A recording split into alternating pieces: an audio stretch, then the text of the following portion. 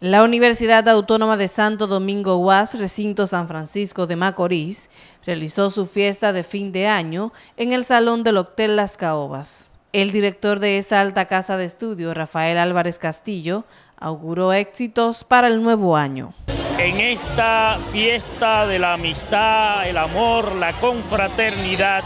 entre los universitarios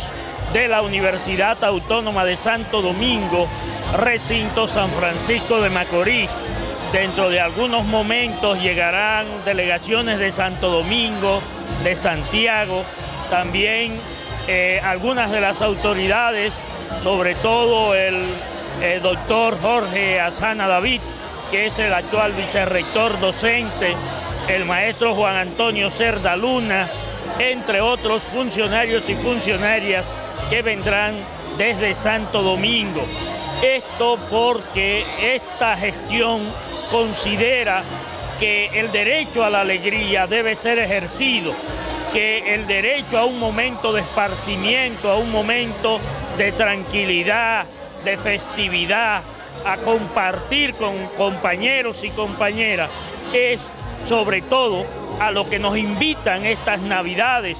navidades que nosotros esperamos que sean de mucha felicidad para todos y todas los dominicanos y dominicanas y que el año 2014 nos pueda encontrar gozando de mucha salud, de mucha paz, de mucho amor y mucha solidaridad. NDN